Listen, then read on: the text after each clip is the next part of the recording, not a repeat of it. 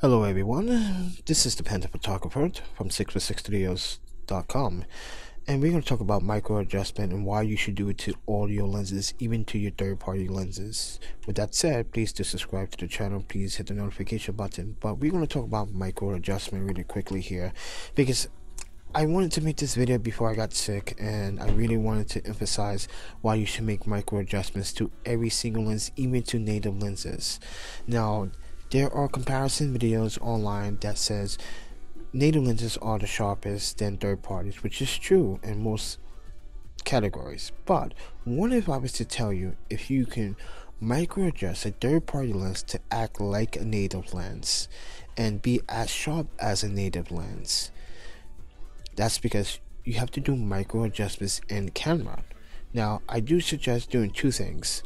Now, if you are using Sony, especially if you're using Sony E-mount cameras with MC11 adapters, using Sigma or Canon glass, this will also help for you as well. It just takes a little bit of time and patience to do the micro adjustments. Now, you can go plus value or minus value in your camera you can see that I'm also using a micro release remote controller for no camera shake because this is very important.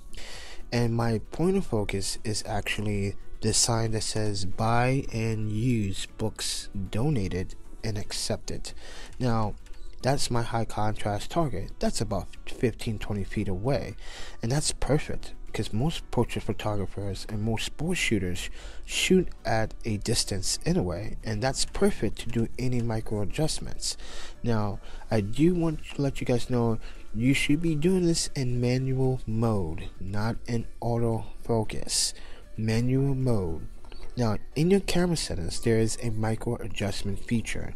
You should be using it at all times, and you should be using it. So, I'm using the Tamron SP90mm micro lens and I'm sorry that I have to do a voiceover for this video because somehow I was doing this live and the audio didn't come through, but I digress. But the point of this is to emphasize that if you're using any third party or native lenses, micro adjustments can make a big difference in your photography and videography work. Trust me, makes a big difference. And with me, I'm using the Sony a77 bodied. I am making micro adjustments to the Tamron SP90mm micro lens. Well, I'd already done this a long time ago, but I wanted to make this video before I got sick, and I really wanted to share this tip because it's so important for any portrait, any wedding photographer, any videographer. Now, in my settings, and I'm sorry to demonstrate this with a terrible shaky gimbal uh, right now but I was trying to show you guys the settings but I'm at negative 5 and my micro adjustment. Now this may not work for you. So based on your lens your lens will be different.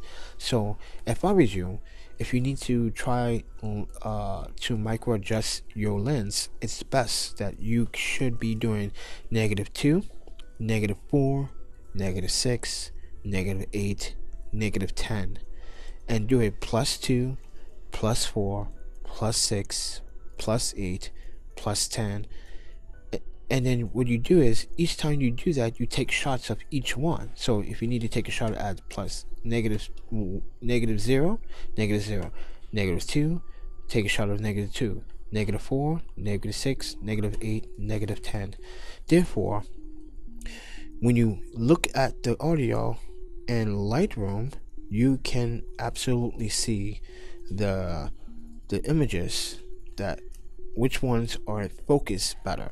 Then you can do a plus value to see if that's going to help as well, which is prefer for your lens.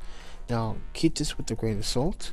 That micro adjustments are based on uh, making sure that it's pinpoint accurate sharp each time. But by me saying this is you need to make sure. So,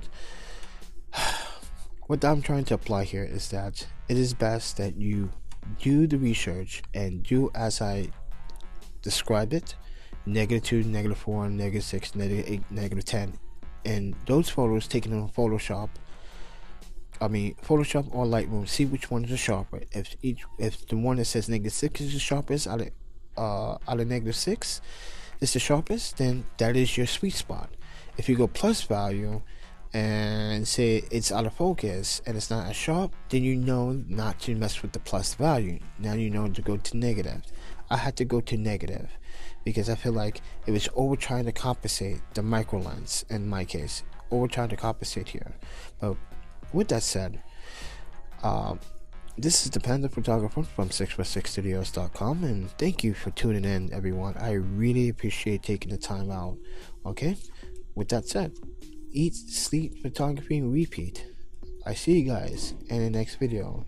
And don't forget, make sure that you use a micro release shutter remote so there is no camera shake to see the best results.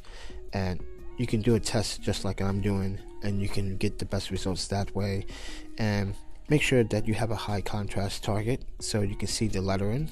So, with that said, don't forget, eat, sleep, photography, and I'll see you guys in the next video. Peace.